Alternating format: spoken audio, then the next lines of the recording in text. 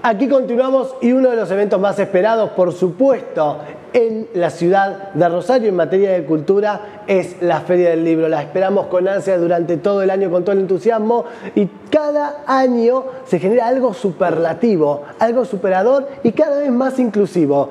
Hoy mismo empieza, hoy, desde el 5 hasta el 15 de septiembre vamos a tener 10 días para acercarnos a este mítico recinto que es el Centro Cultural Fontana Rosa para vivenciar, como digo, este evento tan esperado en la ciudad de Rosario, la Feria del Libro. Estamos aquí con Alejandro Martín, que es una parte crucial, no solamente del área de cultura de la provincia, sino también de esta Feria del Libro. ¿Cómo estás, Ale? ¿Cómo estás? Hola, ¿cómo estás? ¿Todo bien? Sí, todo bien. Muchísimas gracias por la invitación. Con muchísimo trabajo, me imagino. Muchísimo trabajo porque estamos por, eh, por la apertura en cualquier momento. O sea, ahora a las 18 ya abre la Feria del Libro Rosario, que este año la organizamos junto a la Municipalidad de Rosario y el Ministerio de Cultura de la provincia de Santa Fe, con más propuestas, impulsando eh, la industria editorial de no solamente de Rosario, sino también de la provincia.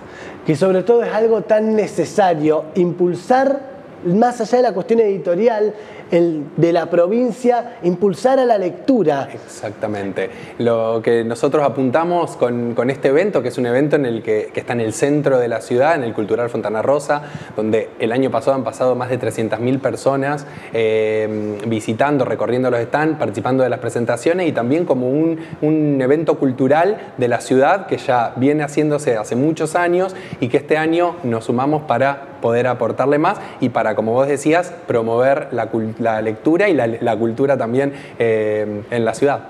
Y por más que sea una propuesta ya instalada, cada año va más gente y debe ser mayor el desafío inclusive, de cómo lo hacemos aún mejor, cómo lo expandimos todavía más. ¿Qué es lo que se plantearon? Mira, eh, este año, en esta edición, justamente eh, va a haber una redistribución del espacio por las cuestiones, digamos, de circulación para mejorar la experiencia de quienes vayan a recorrer los stands de librerías y editoriales locales y también nacionales que van a estar participando, porque es un evento que organizamos eh, también junto a la Fundación El Libro de Buenos Aires y que va a estar participando. Entonces, bueno, la idea es poder mejorar eh, no solamente la circulación por los stands, sino también la experiencia en las presentaciones de libro, en los conversatorios y en diferentes actividades que van a estar haciéndose también sumando otro espacio uh, vinculado a infancias que este año crece en la sala contigua en la que se había hecho el, el año pasado, eh, continúa expandiéndose para poder sumar más presentaciones, para tener eh, más espacios de lectura para las infancias, para las adolescencias y las juventudes. Hacia ahí quería ir justamente sí. porque es valiosísimo, por supuesto, además de que toda esta propuesta de la Feria del Libro es crucial y es necesaria sumamente para la cultura, la parte de las infancias tiene un polo crucial. Sí. Crucial. ¿Por qué?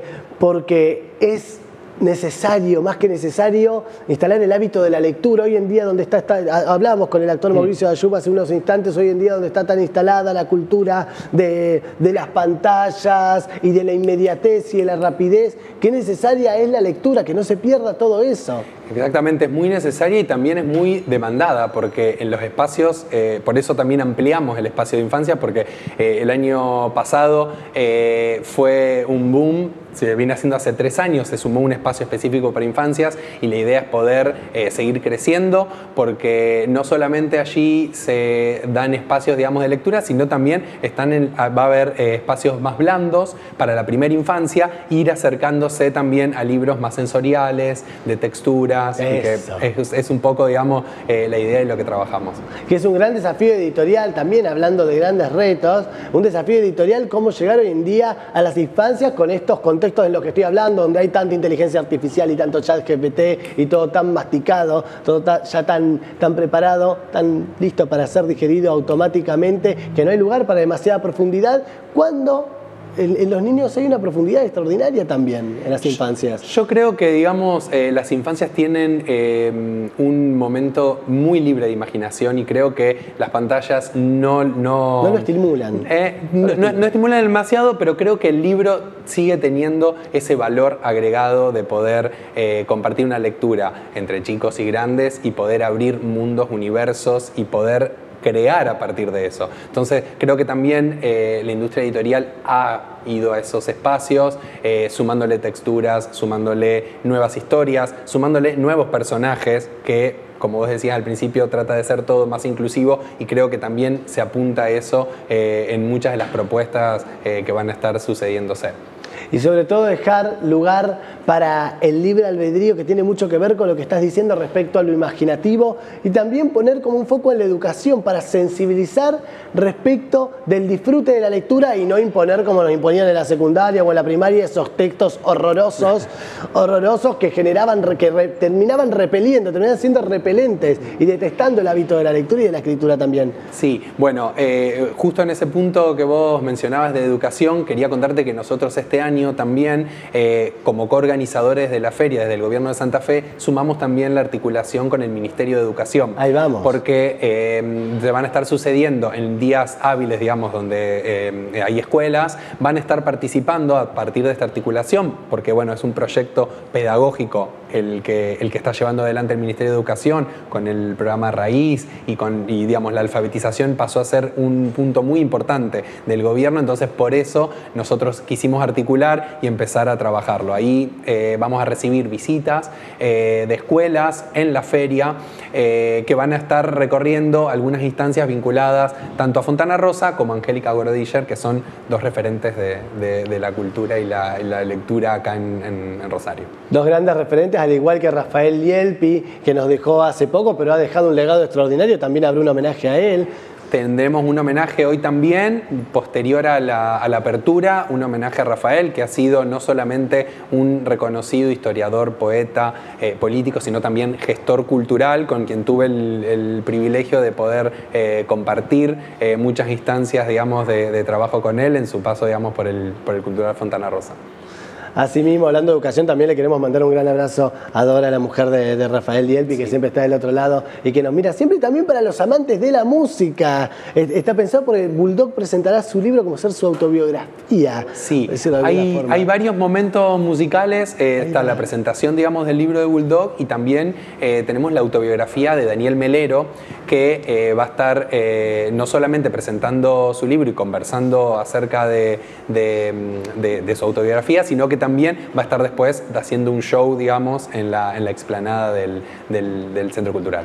Que es un músico extraordinario de la Argentina que no solo ha grabado Colores Santos con Gustavo Cerati, sino que también un, nivel de exquisitez extraordinario en, en, su música. Yo recuerdo ahora con todo esto que estamos hablando, también de las infancias, cuando estaba en, el colegio, en la primaria, era mi actividad y mi salida en el colegio favorita, y de mis compañeros a lo largo del año. Por eso produce una resonancia tan movilizante. Esto no es un evento aislado en las ciudades, algo que une a toda la provincia y que amalgama un montón de disciplinas. Sí, y que permite también compartir con otros lectura y compartir también eh, historias, libros y en las presentaciones también conocer un poco el, detrás de escena o la cocina de ese libro. Creo que también tiene eh, un punto muy importante y muy atrapante para quienes van participando a lo largo de los diferentes auditorios y salas de, presentaciones de libros que, que, va a haber en el Cultural Fontana Rosa para poder digamos, disfrutar ahí y, bueno, y, también compartir y poder hacer firmar algún libro para quienes quieran, también va a haber firma de libro.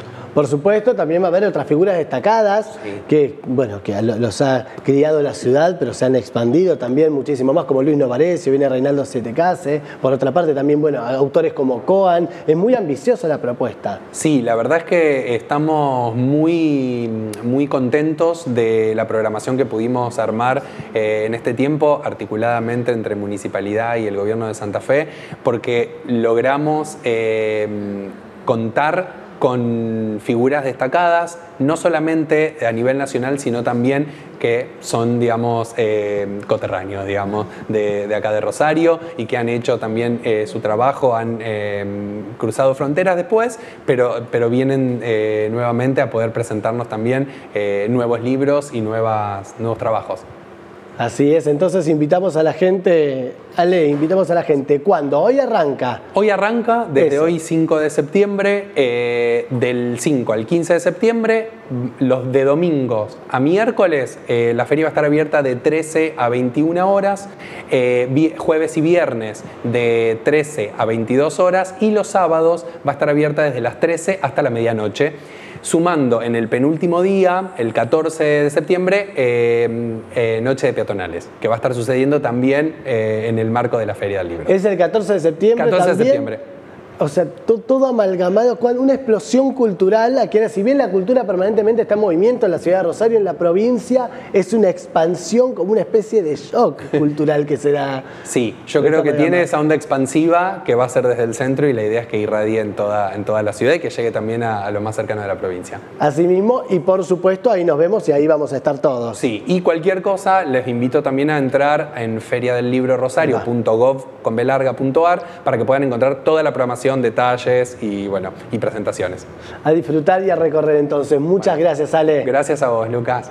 Un verdadero placer, ahí estaremos recorriendo la Feria del Libro. Salimos de acá y nos vamos a la presentación allí en el Centro Cultural Fontana Rosa del 5 al 15 con entrada libre y gratuita, sobre todo entrada libre y gratuita para que nadie se quede afuera. Breve pausa y enseguida volvemos con muchísimo más.